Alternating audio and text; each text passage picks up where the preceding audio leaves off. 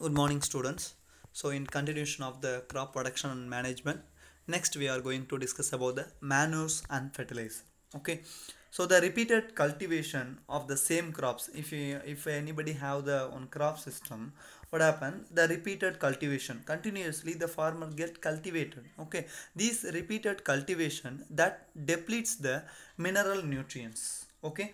So the same agricultural land that depletes the mineral nutrients and uh, some of the other useful contents are present in the soil. So all those things are depleted. Okay. Due to this uh, crop production uh, disease uh, and uh, over uh, economic yield. Okay. That here I am giving the some mistake. Okay. Decreased. So not as diseased. Due to this uh, crop production decreased and then lower economic yield. Okay finally it gives the lower economic yield. The fertility of the soil enhanced by the adding manures and then fertilizer. Okay npk is the most important elements. What do you mean by the npk that is the very important nutrients for the plants. Npk nitrogen and then phosphorus potassium. That is called as the npk so these are all the nitrogen phosphorus potassium are the three most and then most important elements for the healthy growth of the plant and then development of the crop plants. Okay? So it which can be supplemented in the soil through the manures or fertilizer. So there is a deficiency of the npk that can be altered by the adding chemical fertilizer or manures. Okay? So first one we are going to discuss about the manures what is manure? Manure is the organic substance. It is a very organic substance or organic matter that is obtained from the decomposition of the animal excreta or uh, plant waste. Okay? Plant waste and then uh, like a cow dung and then plant residues. Okay? From that the manures are prepared. Okay? The manures are the it supplies the small quantities of the nutrients. It increase the fertility of the soil. So normally it increase the the fertility the land should fertile if you are using the manure okay? Based upon the biological waste materials used manures are classified into four types. One is the farmyard manure and then compost vermicompost and then green manure okay? So these are all the things. Based upon the waste material uh, these are all the four types of the manures. So first one fym that is the farmyard manure okay? That's types okay farmyard manure. What do you mean by the farmyard manure?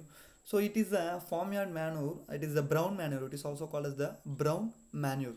Okay it is uh, prepared by the decomposed mixture of animal waste with litter. What do you mean by the litter? Okay litter is generally uh, like a straw you know that urine along with the litter okay the animal waste. That leftover organic matter uh, like a roughage and then fodder. Roughage we know that and then fodder means uh, what is it? Livestock uh, feed. That is called as the fodder. Okay? So that, that decomposition of the animal waste and then cow dung and then uh, uh, cow urine and then litter. Okay? The straw. So these are all decomposed uh, that produce the farmyard manure. Okay? The how they are prepared? The waste are collected and stored in a pit for the decomposition by microorganism. So it takes uh, 4 to 5 months for the formation this contains the nitrogen phosphorus and potassium. So it stimulates the seed germination and then plant growth. Okay. Uh, the residue of the gobar gas uh, is a plant is a type of farmyard manure. Okay. There will be several advantages for the farmyard manure. The next one is the compost and vermicompost. We already studied uh, it is uh, uh, already in the 600 and 700 we know very well. Compost. Okay. Compost is the it is prepared from the farm and town uh, refuse uh, sewage waste and then weeds vegetable and then animal refuse. Simply if you are taking that all wastes okay recyclable waste okay? These recyclable waste okay? Uh, maybe the, it may be the vegetable waste or livestock excreta or animal refuse or anything. It may be the weeds okay? These organic matter uh, is uh, decomposed by the help of the composting. What do you mean by the composting composting is the biological process in which the both aerobic and anaerobic microorganism decompose the organic matter okay? That is called as the composting okay? Normally the composting it takes a 3 to 6 month for decomposition of the organic refuse okay? That is a composting. Then next one vermicompost. What do you mean by the vermicompost? So the same compost okay? Same compost is also prepared by using the earthworms okay to hasten the process of decomposition of the plant and animal refuse that is called as the vermicomposting. Okay so here normally uh, the pit the earthworms are introduced into the pit that containing the plant and an animal waste. Then finally the earthworm that converts the waste into the manures.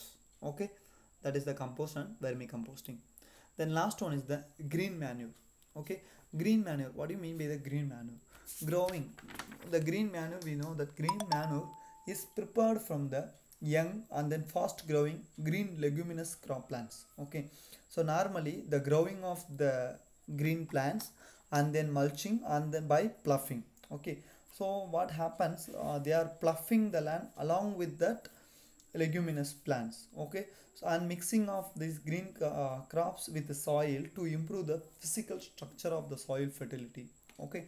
Uh, it gives the what is it normally we know that uh, the practice of growing green plants prior to sowing the crop seeds okay? And then ploughing the green plants into the soil for the purpose of improving the physical structure of the soil okay? So it supplies the nitrogen and phosphorus organic matter for improving the hydration and then aeration. What do you mean by the hydration and aeration? We know that. Okay Hydra, the water gets easily enter and then air also get easily enter into the soil. And then it provides the protection against the erosion and then leaching. They are quick growing leguminous and non-leguminous plants like agar and then cowpea lentil uh, grown in the field for about uh, 6 to 8 weeks and turned into the field for the flowering stage the crops remain buried for about 1 to 2 months okay? Then it has the uh, high nutrient input okay? That is called as the green manure. Then what are all the advantages of the manure? So if you are if we using the uh, manure there will be certain advantages is there okay?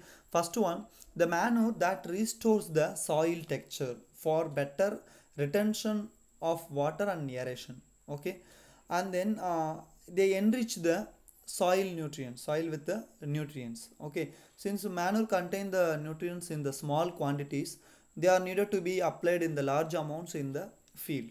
Okay. Then they maintain the humus content of the soil and then it add the large amount of organic matter organic matter into the soil. And then uh, these organic matter increases the water holding capacity and then the organic manures that provide the food for the soil organism and then it is uh, eco-friendly. Okay normally it protect the environment. They are biologically waste material with, uh, which are uh, advantageous as they protect protect our environment. Okay so these are all the advantages of the manure. Okay then disadvantages. What are all the disadvantages is that so same like that each and everything has the advantage and disadvantage. Here also some disadvantages is there so it is the bulky okay normally uh, it, the manures are relatively bulky materials okay. Therefore it is uh, very difficult to store and then transport okay. So inconvenient to handle. We cannot store in that area and then transport is uh, very difficult. And then the manures uh, uh, can supply the nutrients only limited extent okay. Uh, but it is uh, not nutrient specific it's not a nutrient specific. If the plant need the nitrogen the manure does not give the nitrogen okay? So that is a not nutrient specific. Nutrients are released slowly not keeping the phase of with a high and then a rapid demand of the nutrients by high yield hybrid varieties of the crops okay? So and then these are all the disadvantages that present in the manures okay? Thank you